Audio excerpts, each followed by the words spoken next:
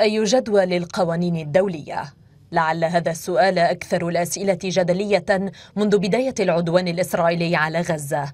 عدوان أعاد ورسخ قناعة سابقة بأن تل أبيب فوق أي مساءلة دولية أو محاسبة حقيقية.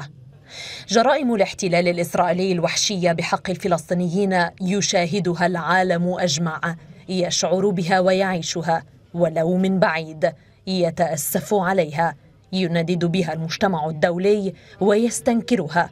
ولكن هل من رادع فعلي لها؟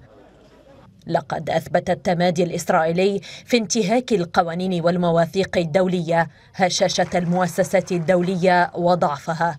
على امتداد الأشهر الماضية بدأ بشكل واضح ولا لبس فيه مدى التسييس الذي يضرب عمق المؤسسات الدولية ما يجعلها صورية لا أكثر.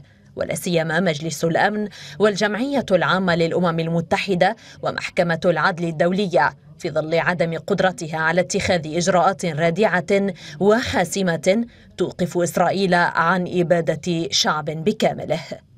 هذا الضعف والتخاذل الدوليان رفع منسوب الاستخفاف الإسرائيلي بالشرعية الدولية على الصعود كافة. في الساعات الأخيرة وحدها استهدفت إسرائيل القنصلية الإيرانية في دمشق. في عدوان هو سابقة من نوعه وضرب علني وموثق للقانون الدولي وميثاق الأمم المتحدة. ولا سيما أن الهجمات على الدبلوماسيين أو المقر الدبلوماسية تنافي اتفاقية فيينا للعلاقات الدبلوماسية لعام 1961 هذا في دمشق. أما في غزة وفي إطار استخدام تل أبيب الغذاء كسلاح حرب ارتكب الاحتلال مجزرة بحق فريق إغاثة دولي في دير البلح. علما أن أعضاءه هم من حاملي الجنسيات الأجنبية المزدوجة الأسترالية والبولندية والإنجليزية وغيرها في أحدث هجوم علني على المنظمة الإنسانية. وحشية الاحتلال الإسرائيلي التي برزت في أبشع صورها في الساعات الأخيرة هي جزء من ارتفاع منسوب مغامراته التي قد تذهب بالمنطقة إلى تصعيد خطر. هشاشة المنظومة الدولية من المؤكد أنها ستؤدي إلى مزيد من هذا التهور غير المحسوب والخرق لقواعد القانون الدولي.